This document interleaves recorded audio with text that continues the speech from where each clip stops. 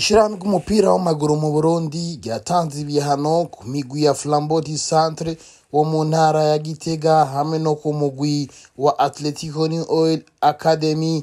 Ryongera rigabisha umugwi wa bumamuru fc nk'uko tubisanga mu makete yo kuri uyu wa kabiri igenekerezo rya kabiri munyonyo umwaka w'ibihumbi bibiri na mirongo ibiri na rimwe. Iryo shirahamwe ryarungikiye abarongoye iyo migwi.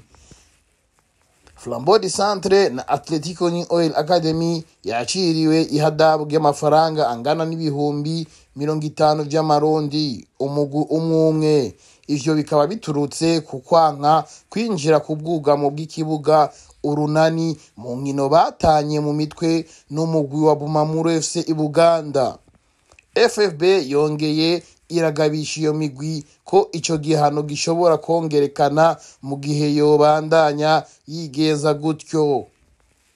Umugwi wa bumamuru fc wo ntiwahanywe ahubwo wahagabishijwe ko ushobora kuzokina atabarorezi canke inkino zayo zizokwimurirwa ku kindi kibuga biturutse ku ngendo itandukanye n'inkino abarorezi b'uwo mugwi berekana. Nko gutera ibicupa vy'amazi mu kibuga mu gihe urukino ruriko rurakinwa no gufata nabi abakunzi b'iyindi migwi.